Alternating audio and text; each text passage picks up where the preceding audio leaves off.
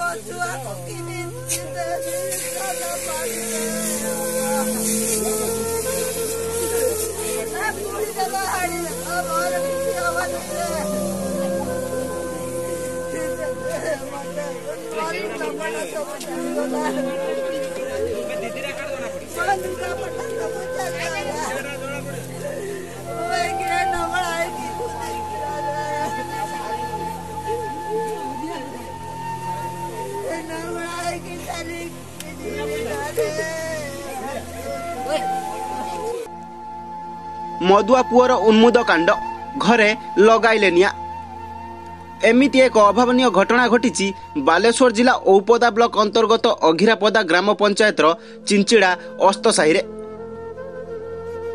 ମଦ ପିଇ କେସି ସିଂ ମା ରାଗୁଣୀ ସିଂର ପଚିଶ ବର୍ଷୀୟ ପୁଅ ଦାଶରଥୀ ସିଂ ଅତ୍ୟଧିକ ମଦ୍ୟପାନ କରି ନିଶାରେ ଘରେ କେହି ନଥିବା ସମୟରେ ନିଜ ଘରେ ଏକ ଦିଆସିଲ ସାହାଯ୍ୟରେ ଘରେ ନିଆଁ ଲଗାଇ ଦେଇଥିଲେ। ସ୍ଥାନୀୟ ଲୋକମାନେ ଔପଦା ଅଗ୍ନିଶମ ବାହିନୀକୁ ଖବର ଦେଇଥିଲେ। ଫଳରେ ଅଗ୍ନିଶମ ବାହିନୀ ପହଞ୍ଚି ନିଆଁକୁ ଆୟତ କରିଥିଲେ ମଧ୍ୟ ଘରଟି ସମ୍ପୂର୍ଣ୍ଣ ଭାବେ ଜଳି ଯାଇଥିଲା। ଘରେ ଥିବା ଆସବାବପତ୍ର ଏବଂ ପିଲାଙ୍କ ପଢ଼ା ବହି Aadhaar card ration card voter ପରିଚୟ ପତ୍ର ଏବଂ ରାଗୁଣୀ ସିଂର ବିଧବା ଭତ୍ତା ଟଙ୍କା ଚାଉଳ ଜଳିଯାଇଥିବା ଜଣାପଡ଼ିଛି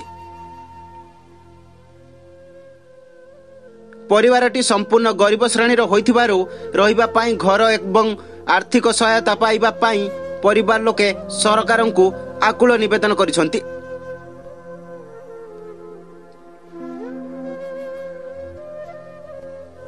ଔପଦାରୁ ଚନ୍ଦନ ବାରିଙ୍କ ରିପୋର୍ଟ ରୂପାଥାଳିଆ ନ୍ୟୁଜ୍।